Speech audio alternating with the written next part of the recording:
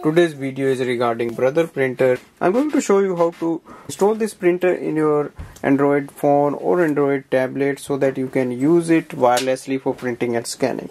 Now the first step is to switch on the printer and connect it to the Wi-Fi network of your home or office. And click on the menu. Now go to the screen here and scroll it down and look for the network option and click OK. Now click on the WLAN and then go for the setup wizard and click OK. And here you have to switch it on.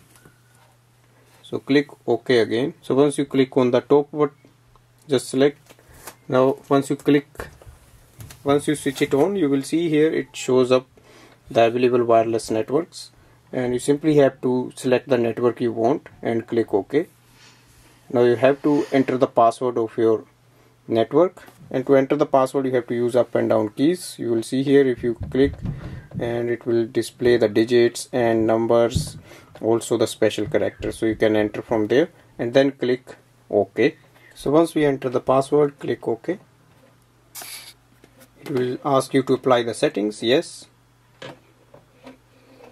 now it's connecting. So once it is connected you will see this will this Wi-Fi light will stay on and the Wi-Fi direct will light will stay on here. Now here we can see it is connected.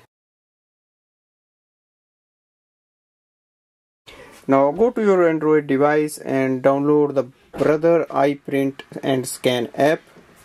Open this app. To install the printer we simply have to go click on this button which is at the bottom it will show up the available printers. It will search for the available network printers here. So you should be able to see your printer here. That is brother printer HL2390 model. Click on that and it will instantly add the printer. So it says the following functions are available like we can do the print scan and copy with this. Now click on cancel and here we see the name of our printer is available. Now if you want you can do the wireless printing and scanning through here. Thanks for watching